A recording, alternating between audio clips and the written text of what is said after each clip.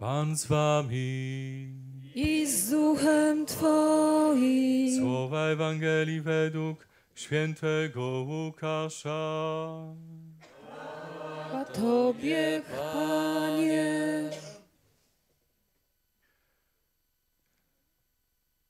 Zdarzyło się raz, gdy tłum cisnął się do Jezusa, aby słuchać Słowa Bożego, a On stał nad jeziorem Genezaret, że zobaczył dwie łodzie stojące przy brzegu. Rybacy zaś wyszli z nich i pukali sieci. Wszedłszy do jednej łodzi, która należała do Szymona, poprosił go, żeby nieco odbił od brzegu. Potem usiadł i z łodzi nauczał tłumy. Gdy przestał mówić, rzekł do Szymona: Wypłyń na głębie i zarzućcie sieci na połów. A Szymon odpowiedział: Mistrzu, przez całą noc pracowaliśmy i niceśmy nie ułowili. Lecz na Twoje słowo zarzucę sieci. Skoro to uczynili, zagarnęli tak wielkie mnóstwo ryb, że sieci ich się zaczynały rwać. Skinęli więc na wspólników w drugiej łodzi, żeby im przyszli z pomocą. Ci podpłynęli i napełnili obie łodzie, tak że się prawie zanurzały. Widząc to, Szymon Piotr przypadł Jezusowi do kolan i rzekł: Odejdź ode mnie, panie, bo jestem człowiek grzeszny. I jego bowiem i wszystkich jego towarzyszy. Zdumienie wprawił połów ryb, jakiego dokonali. Jak również Jakuba i Jana, synów Zebedeusza, którzy byli wspólnikami Szymona. Lecz Jezus rzekł do Szymona: Nie bój się. Odtąd ludzi będziesz łowił. I przyciągnąwszy łodzie do brzegu, zostawili wszystko i poszli za nim.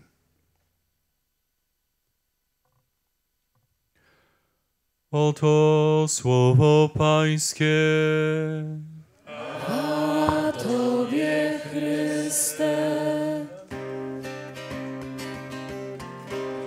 Alleluja,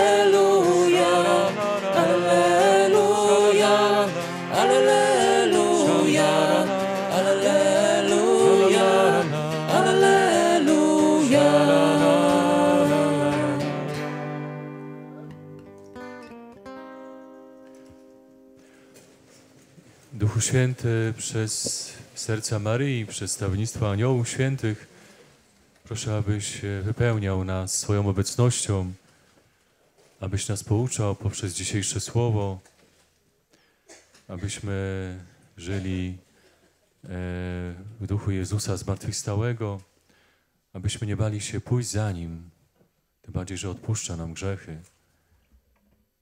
Przyjdź Duchu Święty, abyśmy byli towarzyszami aniołów, a aniołowie naszymi towarzyszami, przyjaciółmi. Przyjdź Duchu Święty, abyśmy zachwycali się pięknem nieba razem z aniołami, tak jak Izajasz widział niebo i aniołów i tron Boga. Przyjdź Duchu Święty. Stąp na nas. Stępuj, prosimy teraz.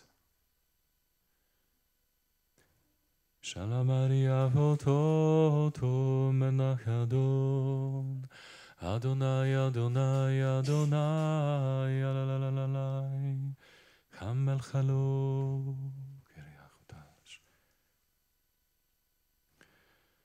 Połowa dzisiejszej liturgii słowa jest związana z tajemnicą aniołów. Psalm 138. Będę śpiewał Ci psalm wobec aniołów. Pokłon Ci oddam w Twoim świętym przybytku, woła psalmista, człowiek modlitwy. Psalm, czyli złota pieśń uwielbienia. Będę śpiewał złote pieśni uwielbienia z aniołami, ognistymi Twoimi sługami. To w ramach wstępu do tej homilii. A chciałbym razem z Wami rozważyć e, to pierwsze czytanie z księgi Izajasza. E, wiele razy je komentowałem, rozważałem e, na różnych spotkaniach, na rekolekcjach, ale zawsze odkrywam nowe piękno, nową głębię również tego tekstu, związaną właśnie z aniołami, serafinami dokładnie. Serafini według tradycji chrześcijańskiej to aniołowie, którzy są najbliżej tronu Bożego. Wszyscy są przecież w bliskości z Bogiem i są w Bogu, Bóg jest w nich, ale ci są najbliżej. Czyli tacy e, najbliżsi, znający, możemy też powiedzieć, najwięcej sekretów Boga, którzy najbardziej Boga poznali, umiłowali. Są różne stopnie poznania, umiłowania Boga, dlatego właśnie i aniołowie, i święci w niebie, e, to ich e, wyróżnia e, od siebie. Wszyscy znają Boga, wszyscy Go miłują, wszyscy są przez Niego uszczęśliwieni, ale to szczęście właśnie jest związane z tym, na ile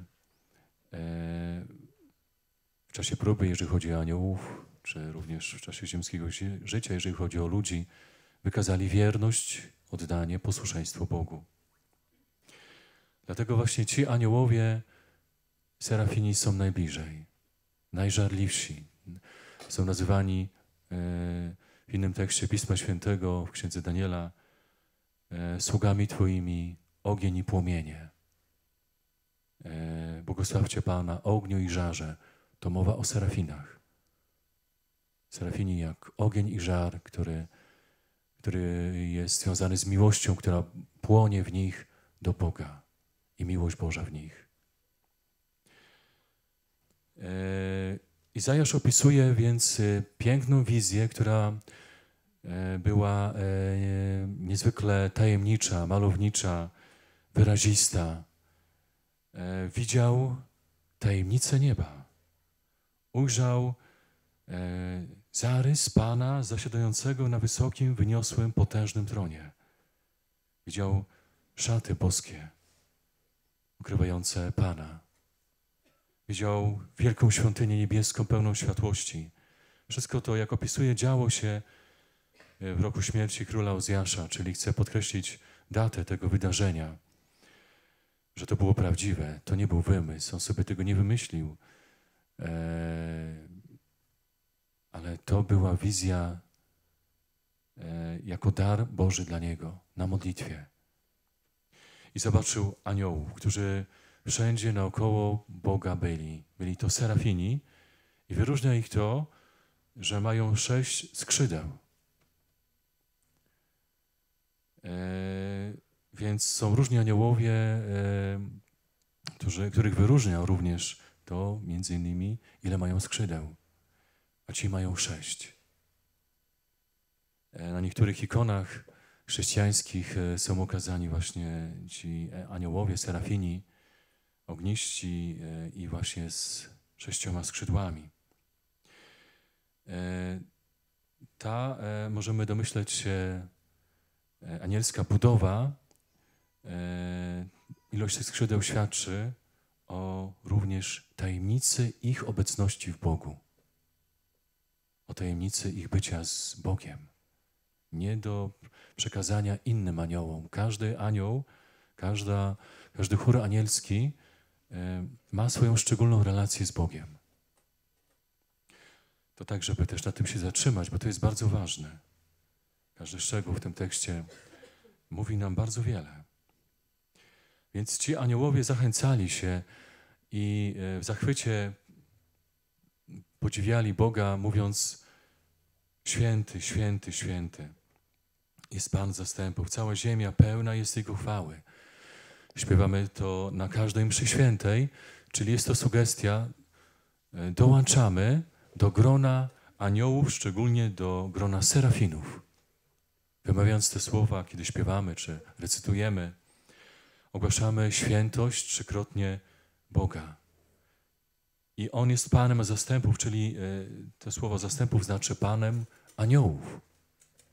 Czyli oni e, tutaj wielbią Boga, że, że ich, jest ich królem, że jest, jest ich Panem, że ich stworzył, że ich powołał do istnienia, do bytu, do uwielbiania Go, do wywyższania. Bóg tego nie potrzebuje, ale okazał wielką miłosierdzie tym duchom, stwarzając je z miłości, miłosierdzia, aby wysławiali Jego miłość i miłosierdzie, które im okazał przez to, że ich stworzył. Poddał próbie miłości, wierności.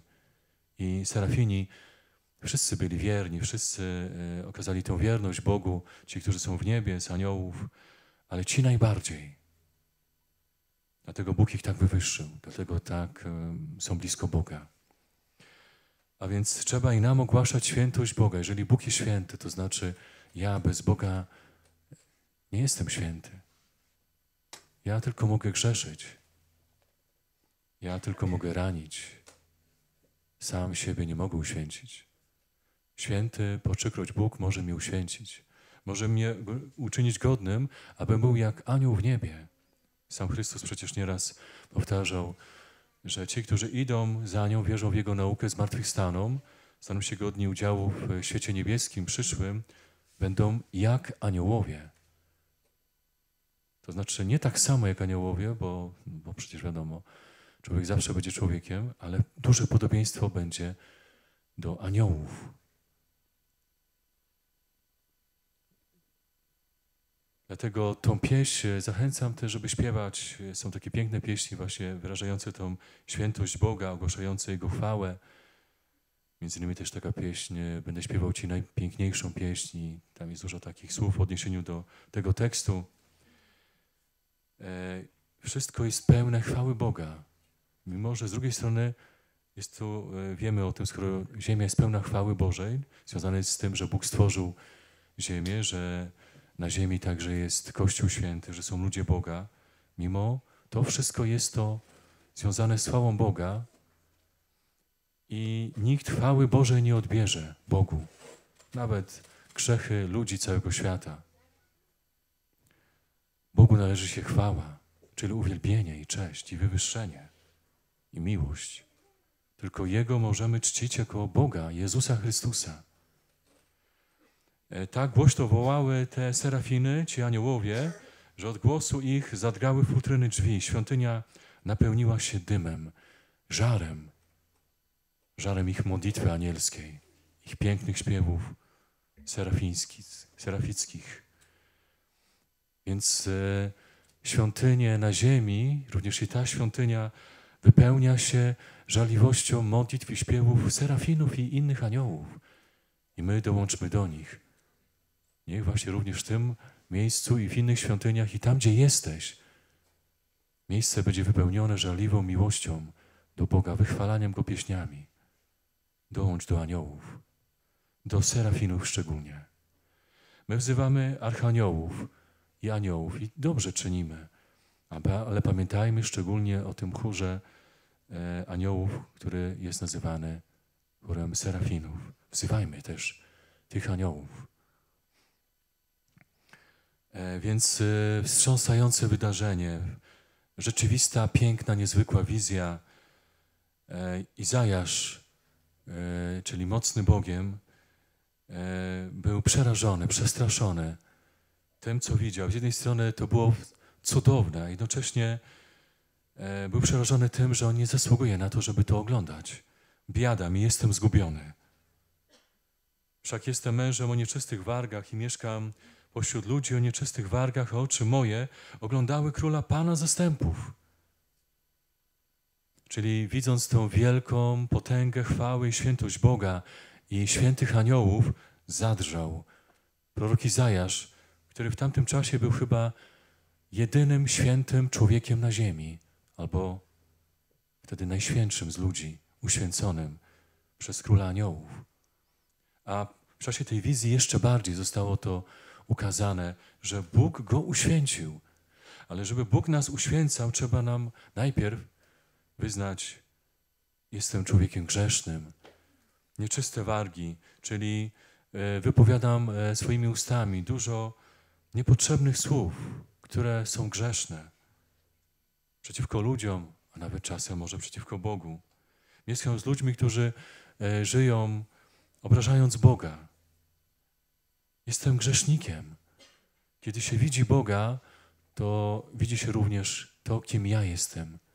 Kim Bóg jest. Bóg mi to pokazuje, tylko oczywiście Bóg pokazał to, kim jest w takiej maleńkiej, maleńkiej, maleńkiej, trzeba to podkreślić, powtórzyć, cząstce.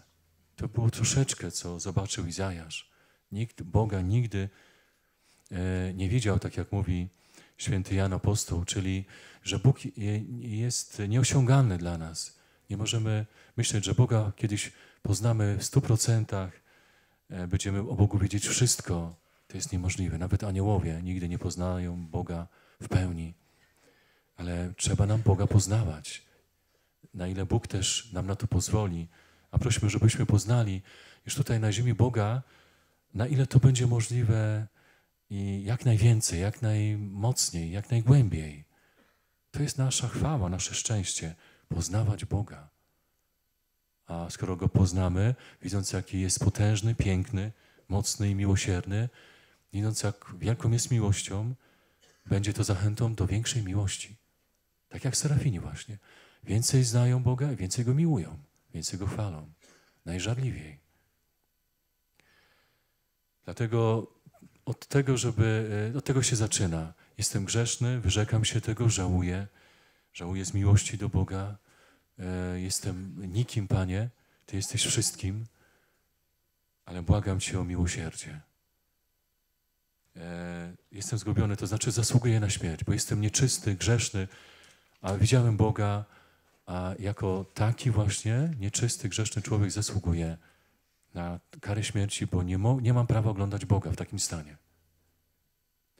Sam się więc oskarżył i osądził, wyznając swoje grzechy. Więc tutaj niezwykłe zachowanie e, Izajasza, ale bardzo e, takie godne pochwały, prawidłowo się zachował jako człowiek e, modlitwy oddany Bogu, jako prorok. Widząc chwałę Bożą i aniołów, muszę uznać, nie zasługuję na to, zasługuję na karę z powodu moich grzechów. Zasługuję na to, żeby nie oglądać Boga. Oglądałem króla Pana zastępów, Pana aniołów. Moje oczy oglądały Boga. Oczy oglądające Boga. Błogosławieni czystego serca, albowiem oni Boga oglądać będą. Więc błogosławione serce, błogosławione oczy Izajasza. On oglądał króla, Pana, którego patrują się aniołowie. Niesamowite wywyższenie Izajasza. Czyli Bóg przez to pokazał, Izajaszu, bądź ziemskim serafinem moim. Widzisz serafinów, naśladuj ich. Na ziemi wielbi mnie, jakbyś był serafinem w niebie. Bądź serafinem na ziemi. A kiedyś dołączysz do nieba, do serafinów, których teraz oglądałeś i z nimi będziesz mnie wielbił i wysławiał. E, kiedy uczynił ten akt pokuty, wyznania swoich grzechów, wówczas przyleciał, jak sam opisuje, mówi, e, jeden z serafinów trzymających w ręce węgiel, który szczypcami wziął z ołtarza. Dotknął nim ust moich i rzekł. E, otrzymał takie polecenie od Boga. Bóg widział, co działo się w sercu Izajasza, co Izajasz e, powiedział. Chciał go więc oczyścić i uświęcić. W jaki sposób? Przez ognisty węgiel, który przez Serafina został wzięty z ołtarza szczypcami i dotknął ust Izajasza. Święty ogień, święty ogień e, miłości, miłosierdzia. Ogień też Bożego miłosierdzia. Oto to dotknęło to Twoich warg, Twoja wina jest zmazana, zgładzony Twój grzech. Wyznał swoje grzechy, żałował za nie, więc to była taka spowiedź przed Bogiem i przed aniołami. Kiedy więc spowiadam się, jestem przed kapłanem, tak naprawdę jestem przed Bogiem, królem aniołów, który przez kapłana działa i są aniołowie, tam są serafini. Nic więc przed Bogiem się nie ukryje i przed Jego aniołami. A z drugiej strony jest to wielka zachęta e, i takie napomnienie dla kapłanów, żeby kapłani e, byli jak serafini. Kiedy spowiadają, kiedy głoszą słowo, kiedy modlą się, kiedy prowadzą ludzi do Boga, byli ogniści, bo jak jest ktoś oziębły, no to nie zapali tego, który też jest oziębły. Ale jak ktoś jest ognisty, gorący, jak serafin, ma w sobie ogień Bożej miłości, to może zapalać oziębłych ludzi tym ogniem, który jest w nim, ogniem boskim, który płonie. E, więc e, anioł tu ogłasza, e, Twoja wina jest zmazana, zgładzone są Twoje grzechy, wszystko Ci Bóg wybaczył, odpuścił Twoje słabości, grzechy, dotknięcie warg. Wargi, które wyznają swoją słabość, grzeszność. Tak się właśnie dzieje na spowiedzi, czy na modlitwach też pokutnych. No jest to bardzo ważne. Sercem i ustami powiedzieć, Panie, tak szczerze, ale tak prawdziwie, zgodnie z prawdą, z wielkim żalem, wybacz mi, Panie. Dlatego akt pokuty czynimy na mszy świętej, na początku. To jest bardzo ważne, zwróćmy na to uwagę, kiedy jesteśmy na każdej mszy świętej. Wtedy też e, przypomnijmy sobie tą wizję Izajasza. Kiedy mówimy akt pokuty na mszy świętej, dzieje się coś podobnego jak z Izajaszem. Wyznajemy, biada mi, jestem zgubiony, nie jestem godzien być na mszy świętej. Nie jestem godzien słuchać mojego Boga, nie jestem godzien Go przyjąć e, w sakramencie miłości, w Komunii Świętej. Biada mi, jestem zgubiony. Ale oczywiście nie można tak iść skrajnie w tym kierunku, tylko nie można wejść w rozpacz, w jakąś e, jakiś rodzaj takiego samopotępiania siebie, ale uznania nie zasługuje na to, a jednocześnie jestem szczęśliwy, że tu jestem, że mogę przyjąć mojego Pana tym e, węglem ognistym Bożej miłości, który dotyka ust nas, naszych na mszy świętej, to to właśnie jest to. Ognisty ogień miłości to jest komunia święta. Skoro ogień, e, który był w tym węgielku e, zabranym z ołtarza, przyczynił się do tego, że zostały wypalone grzechy Izajasza, które Bóg mu wybaczył poprzez ten znak, poprzez ten gest, tą czynność, którą uczynił Serafin, to ileż bardziej dokonuje się to wtedy, kiedy przyjmuje ogień miłości Bożej w Komunii Świętej, ten węgiel e, boskiej miłości, czyli samego Pana. E, kiedy przyjmuje Komunię Świętą, głosi Kościół, są e, gładzone moje grzechy lekkie, grzechy ciężkie, wiadomo zawsze, spowiedzi, ale lekkie wtedy są gładzone. To wypala ta obecność Chrystusa w Komunii Świętej, w tym boskim węgielku miłości, e, tak można powiedzieć obrazowo, w związku z tym tekstem, e, tak mnie wypala, tak mnie oczyszcza, tak mnie rozpala.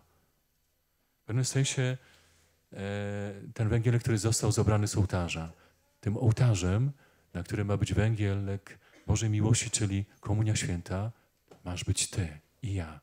Tym ołtarzem, na którym płonie Chrystus swoją miłością w Tobie.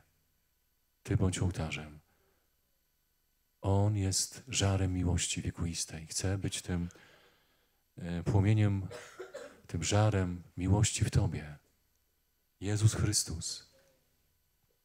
Jest taka piękna wizja e, Pana Jezusa Chrystusa ukrzyżowanego i zmartwychwstałego, który ukazał się świętemu Franciszkowi z Asyżu. Święty Franciszek w czasie tej wizji Chrystusa otrzymał stygmaty, jak sam opowiada, że widział Chrystusa na krzyżu, jakby też postaci takiej serafińskiej, serafickiej może, tak przepraszam, takie lepsze e, ładniejsze słowo, e, który był okryty sześcioma skrzydłami jakby. Tajemnicze wydarzenie, tajemnicza wizja. Chrystus przecież stworzył serafinów. To jakim On jest, żarem i ogniem. Więc ta Boża miłość wypaliła we Franciszku w jego ciele stygmaty, rany. Poczuł ogień, poczuł, że płoną te rany Chrystusa w nim. Więc w tym odpuszczeniu win naszych towarzyszą nam aniołowie. Jezus Chrystus, e, e, boskie słońce, boski ogień miłości, miłosierdzia wypala nas, e, rozpala, oczyszcza z grzechu, przebacza i to czyni przez stawiennictwo aniołów, serafinów i oczywiście naszych aniołów stróżów. Więc y, aniołowie radują się, że Chrystus zmartwychwstały, ukrzyżowany zmartwychwstał, okazuje miłosierdzie, przebacza, wypala, odpuszcza. I e, i Izajasz w tym momencie, poprzez to, że wyznał swoje grzechy, zostały mu je odpuszczone, stał się godny, aby dalej oglądać Boga. Stał się wtedy naprawdę na równi z serafinami. A więc, e, kiedy Bóg nam przebacza nasze grzechy, czyni to z wielkiej swojej gorącej, wiekuistej, płomienistej miłości. Zapala nas tą miłością w czasie spowiedzi, a przede wszystkim w czasie Komunii Świętej. Kiedy my miłujemy Boga, odpowiadamy jak, jak Izajasz, naprawdę stajemy się duchowo jak serafini. Dlatego to słowo e, nas zachęca do żarliwości. E, może niektórzy z Was myślą teraz, no ale co ten ojciec tutaj dzisiaj mówi? To nie do nas, to zupełnie w ogóle jakaś e, nauka anielska, ale to ponad nami. My mamy takie życie pokaleczone, połamane, tyle problemów na ziemi, a ten nam mówi o aniołach, o serafinach jeszcze, i, że mamy naśladować serafinów. No przecież to jest niedorzeczność, to nas nie jest osiągalne całkowicie przez nas. To jest w ogóle e, przepaść między serafinami, aniołami, anami, grzesznikami, biedakami. I właśnie grzesznikami, biedakami, jak Izajasz. Panie, biada mi, jestem zgubiony, przebacz mi. Bóg mi odpuszcza i w jednym momencie staje się serafinem. Ktoś może znowu powiedzieć, niemożliwe. Możliwe, tak się staje. Do tego jesteśmy powołani. Żeby być aniołami e, w niebie, wielbić Boga, no to trzeba być kim? Właśnie, serafinem. Do tego jesteś powołany. Też tak żartuję e, w ostatnim czasie, kiedy przeżywamy we wspólnocie rok anielski, rok aniołów, żeby właśnie poznawać aniołów i ta nauka jest po to, żeby poznawać aniołów, e, miłować też tych naszych braci, naszych przyjaciół, naśladować ich właśnie w tym, żeby wiernie, posłusznie, pokornie służyć Bogu i miłować Boga ponad wszystko. E, iść za Bogiem, oni są naszymi obrońcami, pomocnikami, walecznymi rycerzami Boga. E, to e, w tym roku aniołów właśnie te słowa zachęcające do nabożeństwa anielskiego, do tego, żeby e, iść drogą aniołów, do tego, żeby walczyć, do tego, żeby e, żyć życiem żarliwym, żeby e, nie mówić, nie zasługuje na to w tym sensie, na pewno to się nie stanie, to nie wierzysz w Boże miłosierdzie, w cuda Bożego miłosierdzia? Stanie się to. Wszystko możliwe jest dla Boga. A Bóg chce, żebyśmy właśnie byli towarzyszami serafinów, aniołów, tutaj i w niebie szczególnie. A więc właśnie to, myślę, jeszcze dokończę, że e, powtarzam to właśnie w ostatnim czasie, że Bóg chce, abyśmy byli, bo jest dziewięć chórów anielskich według tradycji też chrześcijańskiej, szczególnie według mm, świętego Grzegorza Wielkiego. On miał też szczególne nabożeństwo do aniołów i miał też takie wizje aniołów wielbiących Boga. To jest dziewięć chórów anielskich, a Bóg chce, żebyśmy my byli dziesiątym chórem anielskim jako ludzie. Żebyś ty był w tym dziesiątym chórze. Nie wiem jak ty, ale ja bardzo chcę, mam takie plany, być w tym chórze anielskim. I usłyszałem głos Pana mówiącego, kogo mam posłać? kto by nam poszedł? Odpowiedziałem, oto ja, poślij mnie. E, Izajasz doświadczył swojej grzeszności, Bożego miłosierdzia, Bożej miłości doświadczył, że jest teraz godzien, a nawet gotów, żeby być posłanym przez Boga. Bóg jakby pyta aniołów, kogo mam posłać, kto by nam poszedł? Kogo mam wysłać, żeby głosił słowa mojej miłości, mojego miłosierdzia na ziemi? Kto się do tego nadaje? Yy, aniołowie nie zdążyli odpowiedzieć na to pytanie, które Bóg im zadał, bo zaraz wyrwał się Izajasz, żeby tamci czasami nie powiedzieli, że się do tego nie nadaje. Oto ja, poślij mnie. Jestem gotów. Panie, chcę, chcę iść, chcę być posłanem. Chcę być Twoim posłańcem, a słowo posłaniec jest e, również e, związane ze słowem e, anioł. Angelus to znaczy posłaniec. Oto ja poślij mnie, to znaczy chcę być Twoim posłańcem, czyli Twoim aniołem, Twoim serafinem na ziemi. Głosić Twoją chwałę, głosić Twoją świętość i Twoje miłosierdzie, cudowne, które doświadczyłem. I każdy może stać się godnym być z Tobą. Czyli jestem grzesznikiem, ale mogę być serafinem. Więc y, nie mogę y, mówić, no to jeżeli jestem grzesznikiem, no to już koniec, nic ze mnie nie będzie. I powtórzę to, co już było mówione. No ale przecież są cuda Bożego miłosierdzia. Więc trzeba nam powiedzieć, każdy z nas, zachęcony tym słowem, w chwili ciszy zaraz po tej homilii zachęcam, żebyś powiedział, kiedy Bóg powie do Twojego serca, kogo mam posłać, kto by nam poszedł, to od razu odpowiedz. Nie ociągaj się. E, trzeba tutaj pośpieszyć się. Nie mów, zastanowię się, może przemyślę to. Od razu odpowiedz, tak jak Izajasz. Oto ja, poślij mnie. Jestem gotów.